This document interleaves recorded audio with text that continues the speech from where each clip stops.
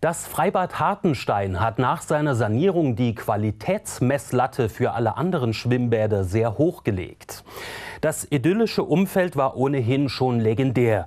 Nun kommt eine völlig neu gestaltete Badelandschaft hinzu. Und der TÜV war auch schon da.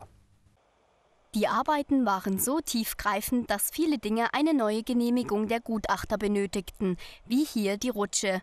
Noch bevor das Bad seine Tore öffnete, untersuchten Experten das Spielgerät, damit die Kinder später hier herumtoben können, ohne einen Schaden davon zu tragen. Doch das war nur ein kleiner Teil dessen, was in den vergangenen Monaten gemacht wurde.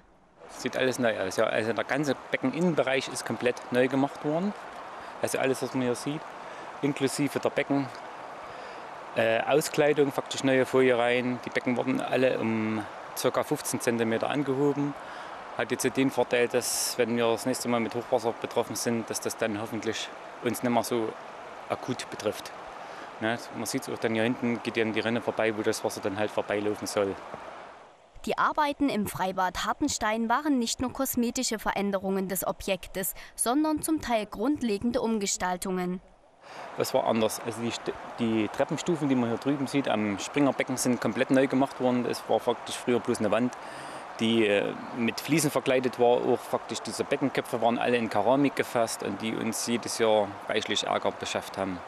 Ja, da war in Größenordnung dann auch äh, Fliesen runtergefallen durch Frost und so weiter und die mussten eben repariert werden. Reichlich eine halbe Million Euro hat der Umbau des Freibades gekostet.